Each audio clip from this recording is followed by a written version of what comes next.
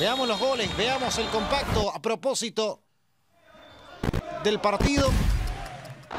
Contigo, Luis Marín. Así es, minuto 40 del partido, salía desde el fondo de Meneses, vemos cómo la toma Rojas en un carrerón, se juega la individual,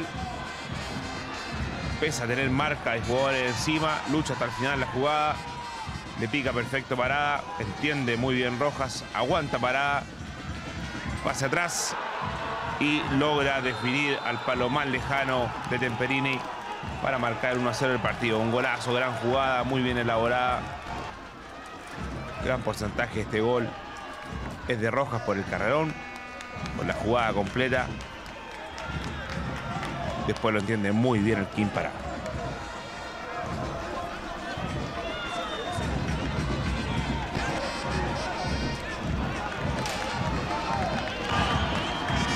No tiene nada que hacer Temperini. Acá vemos el carrerón, no logran bajar.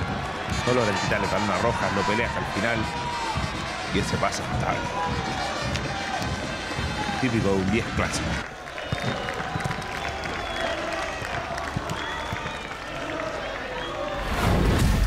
Minuto 49 de partido. Lateral para Curicó. La pelea de Viveros la gana. Pasa en profundidad Arguin Arenas, que es notable. Golazo de Monroy que la toma, no duda, sacude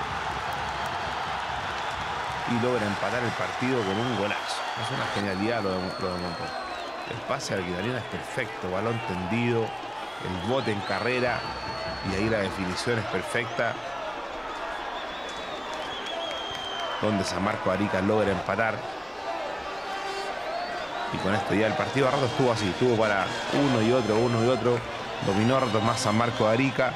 Me parece que ahí es donde no lo supo abrochar. Minuto 69, Baez en el tiro libre. Rivera que cabecea muy, muy incómodo.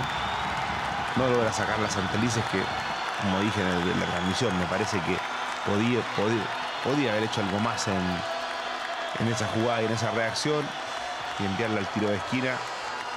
Muy bien la ejecución de Baez. Tiene un, un toque en Rojas que está en la barrera. Ahí, eso desvía la jugada y ahí está lo incómodo que termina cabeceando Rivera en esa jugada.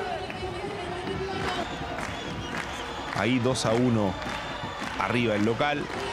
El momento que tuvo que haber abrochado el partido. Haber hecho algo distinto. Lamentablemente se la jugó Arman 2 hizo sus cambios y nos vamos al minuto 88 de partido, donde ya comienza Jarbote a hacer lo suyo, jugarse la individual. No le resulta y el rebote le queda a Bustamante, que sacude y logra marcar el empate del partido 2 a 2. Y ahí ya era un premio para Curicó y su gente que lo fue a ver. Porque estaba rescatando un punto que lo necesita que es importante, que puede marcar una diferencia al final del torneo. Los cambios del Mandós tuvieron su respuesta. Esta fue la primera. El empate del encuentro y desde ahí siguió insistiendo. Harbotel logró ganar la banda izquierda y nos vamos al minuto 90. Donde se juega el individual, donde está muy, muy solo. Saca un centro perfecto y ahí está. Hay una serie de rebotes entre Temperini, Rivera y Bustamante que le dan el 3 a 2 al partido definitorio y final. Fíjate ahí el pase en profundidad, muy solo, muy solo Harbotel. Centro y ahí está. Una serie de rebotes que termina pegando en Rivera. Para mí es autogol. Pero vamos a ver cómo está el informe se lo terminan dando seguramente a Bustamante, pero está en la jugada, participa y complica y por eso se provoca el 3 a 2.